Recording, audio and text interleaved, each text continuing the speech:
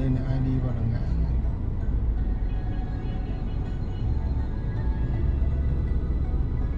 Sửa đèn xanh đèn đỏ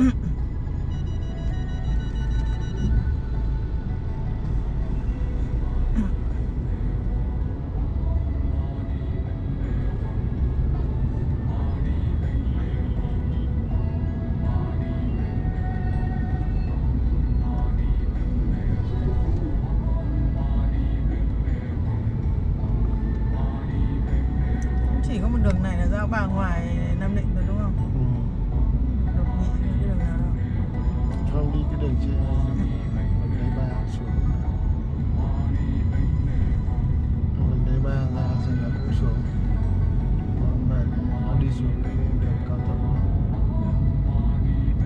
Ta là đi đường nào mà đi ra đường ra nên đường vành đai ba đang chạy trên kìa. Vâng, nhưng bây giờ mình đi ra đâu? còn đây là mình đi đường này mình đi ở dưới vành đai ba nó cũng ra thôi Nó lên cầu Thanh Trì thực ra Hà Nội nó quy hoạch hết rồi đấy nhưng mà có cái là nó làm chậm quá. Nó làm chậm so với cái thiết kế quy hoạch đâm ra là ô tô với lại mọi thứ nó phát triển nhanh hơn đấy Này. đường phát triển chậm hơn. Và cái đường sắt Cát Linh bây giờ hết hơi. Thành bảo tàng.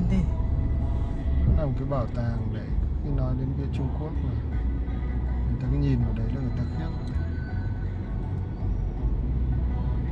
nó chạy nó có khi nó còn sập chứ. Gì Đấy.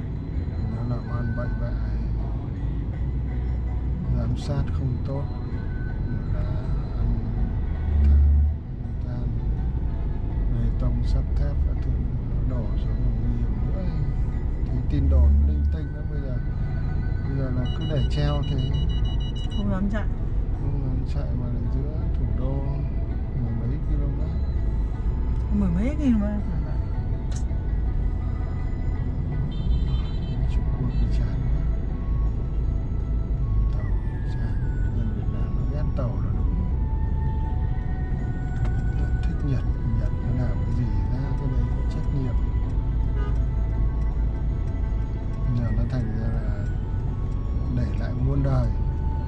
nó bê tông.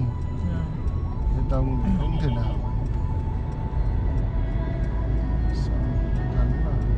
Như kiểu bức tường thành bức tường thành cứ đấy là người ta ghét Trung Quốc rồi vừa làm bệnh vừa bắt người ta vay vốn đội vốn bao nhiêu khoản tiền.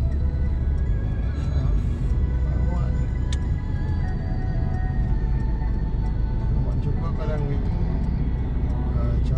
Nam chết. Chúng vui vui chết. Chống lại chúng ta và chúng mình chỉ thế. Ừ. Đấy, Nghĩa là vẫn tàu nó nghĩ thế. Vẫn lại thờ Vẫn cho tàu nó thầu Nhưng mà nó lại là nguyên tắc anh nhỉ? Thằng nào ít thì thằng trúng đúng không? chẳng biết được